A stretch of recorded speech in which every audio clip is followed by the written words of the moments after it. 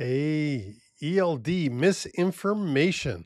What have I been asked recently and had to clear up, not just once, not just twice, but it's several times, maybe a dozen by now, is some ELD misinformation.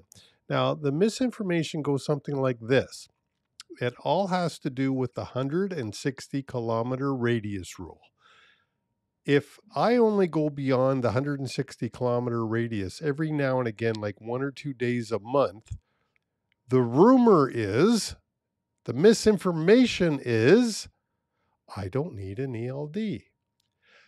That is false.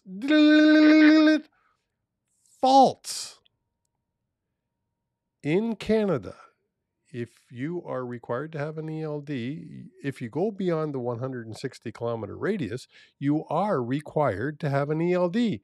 There, that's it. I said it. If you go beyond the 160 kilometer radius, you are required to have an ELD. Now, there is maybe a way around it.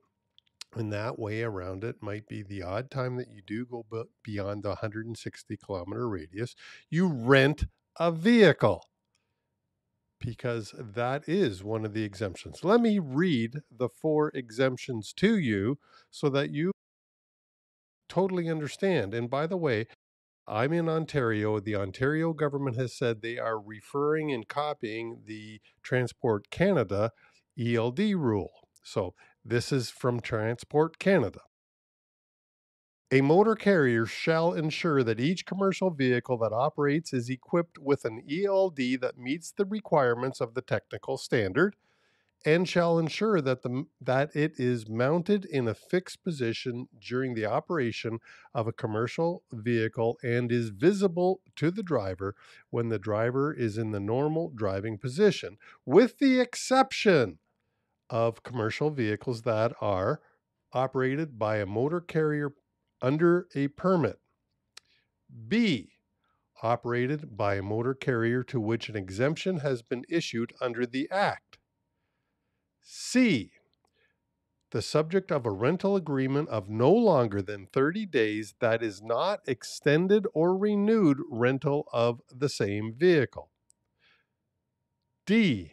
Manufactured before model year 2000.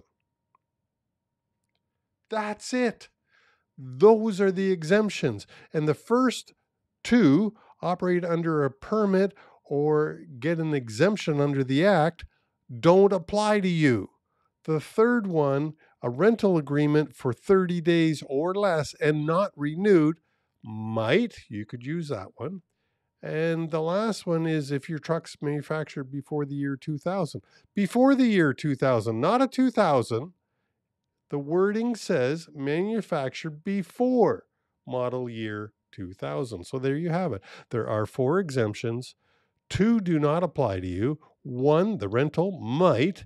And the fourth, if your truck is a, older than a 2000, does apply.